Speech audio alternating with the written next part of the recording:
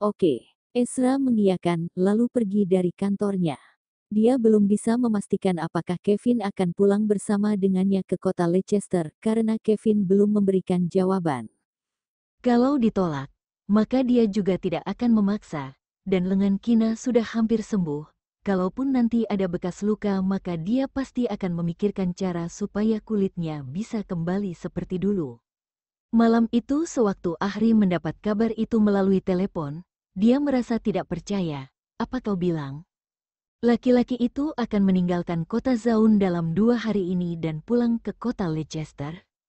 Ya, dia juga bertanya padaku apakah mau pulang bersama. Kevin memberitahunya dengan nada datar. Sialan, Ahri mengutuk dalam hati. Rencananya baru berjalan separuh dan luka Kina masih belum sembuh, dan dia tidak menyangka kalau Ezra akan kembali ke kota Leicester secepat itu. Orang-orangnya kebanyakan berada di kota Zaun, dan beberapa ini banyak pembunuh yang berkeliaran di sana. Kemarin dia tidak sengaja berpapasan dengan seorang pembunuh dan dia merasa ketakutan seperti melihat dewa kematian. Dalam situasi seperti ini sangat jelas kalau dirinya tidak bisa bergerak sedikit pun, dia harus menunggu hingga kondisi membaik. Kota Leicester adalah wilayahnya Ezra, kalau membiarkan mereka kembali ke sana, maka mereka semakin sulit menghadapi Kina. Setelah mempertimbangkan pro dan kontranya, Ahri memberi perintah dengan dingin, kamu jangan ikut ke kota Leicester dulu, pikirkan cara untuk menunda hal tersebut 3-4 hari. Bisa dibilang sekarang Kevin adalah orang kepercayaannya, dia menggunakan Kevin untuk menghindar dari kejaran para pembunuh dan melarikan diri dari negara R jadi untuk sementara waktu dia tidak mungkin membiarkan Kevin ikut dengan Ezra ke kota Leicester. Kevin tidak segera menjawab. Dia terdiam sekitar dua menit lalu berkata, Aku sudah tahu, paling lama empat hari. Empat hari sudah cukup. Ahri tersenyum puas mendengar jawaban itu. Dia pasti akan merencanakan semuanya dalam waktu empat hari, dan membuat Kina tidak akan bisa meninggalkan kota Leicester dalam keadaan hidup. Keesokan harinya Kevin datang ke rumah sakit lalu mengecek kondisi Kina dan memberikan obat, kemudian memanggil Ezra ke ruang tunggu. Aku bisa ikut denganmu ke kota Leicester, namun karena masih ada beberapa hal yang harus aku selesaikan di sini, jadi aku butuh waktu sekitar 3-4 hari. Dia berbicara tanpa menatap Ezra secara langsung. Ezra meliriknya dengan tatapan acuh tak acuh, Instingnya yang tajam berkata kalau lelaki ini bertingkah aneh. Boleh saja, dia langsung setuju dan meneruskan perkataannya. Besok aku dan istriku akan pulang lebih dulu ke Leicester. Kamu bereskan dulu pekerjaanmu baru nanti menyusul kami. Tuan Okto, pengobatan Nyonya tidak boleh terhenti karena akan mempengaruhi pemulihannya. Kalau Anda tidak buru-buru, bisakah menunggu saya dua hari? Dia tidak menyangka kalau Ezra akan menjawab seperti itu, maka dia segera memberikan saran. Ezra menatapnya lekat-lekat selama beberapa detik, dan akhirnya dia mengiyakan permintaan Kevin. Baiklah, kami akan menunggumu dan pulang ke Leicester bersama-sama. Selesai berkata, dia langsung pergi. Kevin menatap pintu yang tertutup sambil bergumam dalam hati. Dia sudah memberikan petunjuk pada lelaki itu, Ezra pasti akan waspada. Dia tahu dengan jelas kekuatan Ahri, kalau lelaki ini waspada maka Kina tidak akan terluka. Kenapa dia setuju dengan permintaan Ahri adalah karena dia ingin meminjam tangan Ezra untuk berhadapan dengan Ahli. Dengan kata lain dia telah bekerja sama dengan Ahri selama bertahun-tahun, dia juga sering membantunya, akan tetapi tidak bisa dibilang teman, jadi lebih ke hubungan kerja sama biasa saja. Sekarang Ahri menginginkan Kina mati. Hal ini malah membuatnya merasa marah, sehingga dia tidak ragu-ragu membuat jebakan untuk balik menyerang Ahri. Namun hingga saat ini dia masih belum tahu perasaan macam apa yang membuatnya marah dan gembira, perasaan yang bisa mengontrol perilakunya. Sebenarnya ada apa dengan dirinya? Kevin tahu dengan jelas kalau beberapa hari lagi Ahri akan melancarkan aksinya dan Ezra tidak mungkin menganggap seakan-akan tidak terjadi apa-apa dan membiarkan dia pergi ke kota Leicester. Kelihatannya dia harus mempersiapkan pengobatan Kina lebih awal, jadi kalau dia tidak ikut pergi ke Leicester maka pengobatannya tidak akan terhenti, dan luka di lengannya akan sembuh seperti semula. Setelah menyelesaikan pekerjaannya di rumah sakit, Kevin pergi ke hotel. Dia menyapu pandangannya ke sekeliling hotel untuk memastikan tidak ada yang mencurigakan, barulah dia menelepon Ahri. Ezra setuju kalau jadwal kepulangannya diundur 3-4 hari. Tutur katanya dingin seperti robot yang sedang memberi laporan. Bagaimana cara kamu mengatakan padanya? Apakah dia curiga? Ahri bertanya dengan hati-hati. Kevin menjelaskan semuanya dari awal hingga akhir pada Ahri. Aku bilang kalau masih ada urusan di kota Zaun yang harus diurus, dan aku butuh waktu 3-4 hari. Tadinya dia berencana untuk membawa pulang Kina lebih dulu, akan tetapi aku menyarankan supaya pengobatannya jangan terhenti, jadi kalau dia tidak buru-buru aku memintanya untuk tinggal dua hari. Kemudian dia mempertimbangkannya dan setuju. Baik, aku sudah tahu. Ahri merasa alasan yang dipergunakan oleh Kevin sangatlah sempurna. Kevin masih ada urusan, sehingga tidak bisa ikut ke Leicester. Sedangkan Ezra sangat menjaga Kina, Ditambah lagi dengan saran, lebih baik pengobatannya jangan terhenti, sehingga dia memutuskan untuk tinggal. Dia percaya Ezra tidak mengetahui kalau Kevin adalah orang kepercayaannya. Ditambah lagi akhir-akhir ini Kevin merawat Kina dengan sepenuh hati dan tidak berniat jahat, maka Ezra pasti tidak akan menyadari kalau Kevin adalah orang yang berbahaya. Kali ini dia rela salah membunuh seribu orang dan tidak akan membiarkan Kina lepas dari tangannya. Beberapa hari kemudian, selain pergi ke kamar Kina untuk memeriksa dan memberikan pengobatan, sisa waktu Kevin banyak dihabiskan di kantornya. Tidak ada yang tahu dia sedang apa karena dia mengunci pintunya. Kina hanya bertanya kenapa jadwal pulangnya mundur dua hari. Esra menjelaskan kalau Kevin masih ada urusan di kota jadi mereka menunggunya untuk pulang bersama-sama. Kina pun tidak berkomentar apa-apa. Dikarenakan kepergian Albert yang sampai sekarang belum ada kabar, Kina merasa sedih dan tidak berminat mengerjakan sesuatu. Empat hari telah berlalu dengan cepat. Hari ini Esra dan yang lainnya pulang ke kota Leicester. Kevin telah menerima kabar dari Ahri sejak dini hari, dia bilang sudah boleh mundur akan tetapi harus mencari alasan di dalam perjalanan menuju bandara, dan sementara ini jangan membuat Esra curiga. Sedangkan Kevin bilang pada Esra kalau dia akan mengunjungi seorang teman lama dan kebetulan tempatnya searah dengan perjalanan menuju bandara, jadi dia tidak pergi bersama dengan mereka dan langsung berkumpul di bandara saja. Ezra setuju. Esok paginya, Ezra membantu mengurus administrasi untuk keluar dari rumah sakit dan membawa sekelompok pengawal meninggalkan rumah sakit. Begitu melangkah keluar dari rumah sakit, Ezra bisa merasakan hawa membunuh yang dingin di sekelilingnya, sorot matanya menyapu keempat penjuru, dia menggendong anak dengan satu tangan, lalu tangannya yang lain merangkul pinggang istrinya dengan erat. Apakah akhirnya mereka datang juga? Dia berbisik pelan di telinga istrinya kemudian naik ke mobil dengan cepat. Meskipun Kevin tidak berangkat ke bandara bersama mereka, tapi Ezra sama sekali tidak khawatir Kevin akan melarikan diri.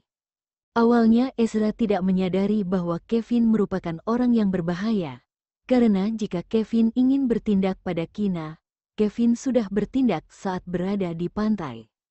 Kemudian dalam waktu dekat-dekat ini, Kevin juga sangat serius dalam mengobati luka bakar yang ada di lengan Kina. Hingga beberapa hari yang lalu, Ezra mengundang Kevin untuk kembali ke kota Leicester bersama dengannya. Sikap Kevin menimbulkan kecurigaan Ezra. Perlahan-lahan teringat bahwa Kevin muncul di desa nelayan pada hari kedua di mana Kina menghilang. Kemudian pada saat itu, Ahri masih terjebak di kota Zaun, sampai sekarang ini masih belum menemukan jejaknya.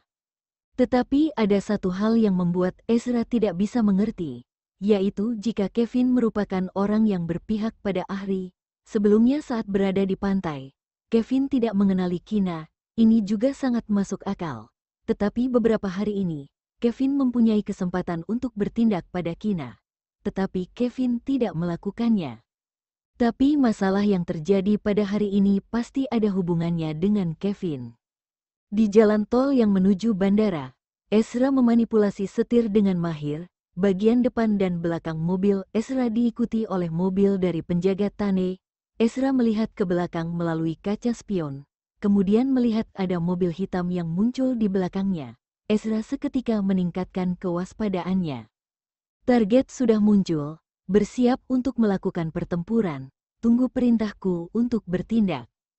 Ezra memerintah melalui headset Bluetooth. Setelah berbicara, Ezra terus mengemudi, seolah-olah tidak ada sesuatu yang terjadi. Dua atau tiga menit sudah berlalu. Ban mobil tiba-tiba meledak karena tembakan. Ezra segera menghentikan mobilnya di tepi jalan, Kemudian beberapa mobil hitam langsung mengepung dua sisi dan menutupi jalan keluar Ezra. Pada akhirnya, ada sekitar tujuh atau delapan belas mobil mengepung mobil Ezra dan juga penjaga Tane. Ada sekitar empat puluh atau lima puluh orang yang berjalan turun dari mobil. Semuanya menodongkan senjata ke arah mereka. Orang yang ada di dalam mobil segera turun. Kalau tidak kami akan meledakkan mobil kalian. Orang yang memimpin itu langsung berteriak. Dikatakan bahwa pria yang ada di dalam mobil itu merupakan pelaku utama yang menghancurkan perdagangan narkoba mereka beberapa hari yang lalu. Banyak saudara yang meninggal, kemudian juga ada yang ditangkap dan masuk ke penjara.